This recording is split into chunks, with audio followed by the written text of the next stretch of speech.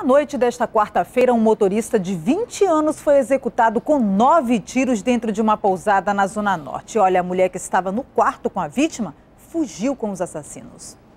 A vítima, Silvan Cizer da Silva Martins, estava em um dos quartos da pousada com uma mulher ainda não identificada quando dois pistoleiros invadiram o local e executaram o motorista dentro do banheiro. Silvan foi atingido na cabeça e nas costas com nove tiros de pistola calibre 380 milímetros. A acompanhante de Silvan deixou o local com os assassinos em um carro vermelho. As câmeras de segurança da pousada flagraram a entrada e a saída dos criminosos aqui do local. As imagens já foram coletadas e estão sendo analisadas pela Polícia Civil e devem ajudar a identificar os suspeitos.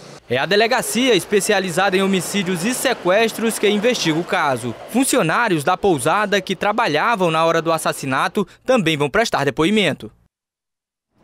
72 veículos foram apreendidos hoje durante uma operação do Detran nas zonas norte e leste de Manaus. Entre eles, 17 micro-ônibus que operam nos transportes alternativo e executivo. Entre as principais infrações estão o mau estado de conservação, pneus carecas e para-brisas trincados. Além disso, muitos motoristas foram pegos sem a habilitação da categoria D, específica para exercer a atividade no transporte coletivo.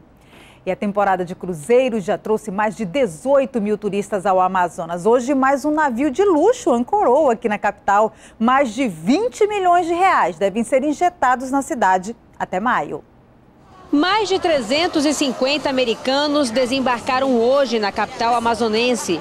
Eles vieram neste cruzeiro de luxo do Rio de Janeiro, passaram por várias cidades do Brasil e nessa quinta conheceram a terra dos bumbás, e a recepção não poderia ser de outra forma, né? Ju e Brenda se encantaram logo de cara. Animadas, pretendem aproveitar Manaus. Este navio é o mais luxuoso que atracou aqui em Manaus. Ele é o 17º da temporada de cruzeiros que começou ano passado. Até agora, mais de 18 mil turistas de vários países passaram por aqui. A programação encerra em maio e até lá, mais de 20 milhões de reais devem ser injetados na economia local. Então, até agora, 17 milhões de reais foram deixados para os 17 navios, né? Ainda faltam quatro. E, e gera está gerando recurso para o Estado.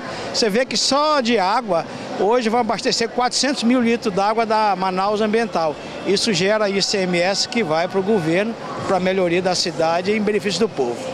Seu Ananias trabalha como guia há 30 anos. O amazonense, além do português, fala o apurinã, idioma indígena, inglês e espanhol.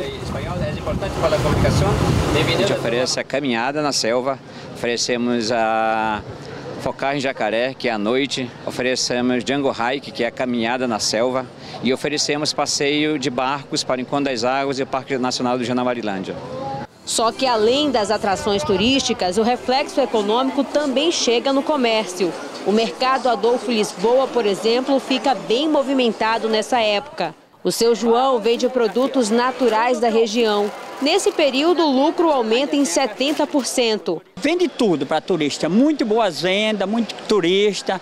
Se o governo ajudasse, é melhor, ia ter mais turista no Manaus, porque hoje é a capital hoje que está dando mais turista brasileiro. Artesanatos também estão na lista dos itens mais procurados pelos visitantes. O cruzeiro Silver Muse deixa Manaus nessa sexta-feira às 5 da tarde. Ele deve passar por Santarém e depois seguir para o Caribe e terminar a viagem na Flórida.